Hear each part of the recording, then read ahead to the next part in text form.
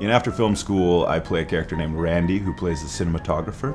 He's just really kind of a free spirited guy. He doesn't even wear clothes most of the time, or at all. He just wears underwear. So he uh, he's a really fun dude to play, without a doubt, but it feels great to just be walking around the public in your underwear. Well, you have nothing to worry about. Nothing to worry about. And that's So- one thing I got from this movie, I guess, is that fucking felt great. Well, I play Mia, who's this young Mexican wannabe actress, you know, who just moved to Vancouver and she's just doing anything and everything possible to get her face on screen. Adam, did you get my text? Oh no, I didn't.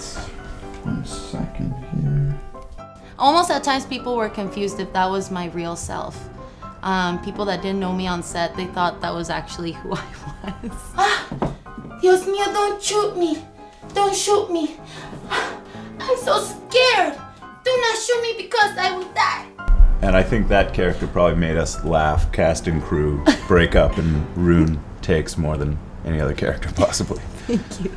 You know what i think when people watch this film for the first time they're gonna they're gonna laugh a lot it, it has such a good taste to it Even though you're dealing with these subject matters that might uh, be a little contentious, I think it's treated in a really good, hysterical, funny, and thoughtful way. So I think it'll I think it'll go over really well. this set was really ghetto and i loved every second of it Cameras are rolling, and it was almost like you were just doing a project with with friends and family almost There's no budget for this film, so we shot it over weekends and evenings over many months. When you go to set, like Gigi was saying, it's your friend's house uh, with your friends. And so it was very relaxed, which made for a great environment for making a comedy. Now let's get fucking drunk!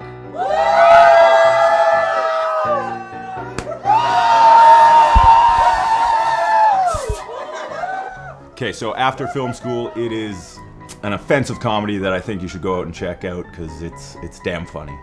You will not regret watching this film. If you want to know more updates about after film school just follow it on facebook click like. On after film school the movie. See you there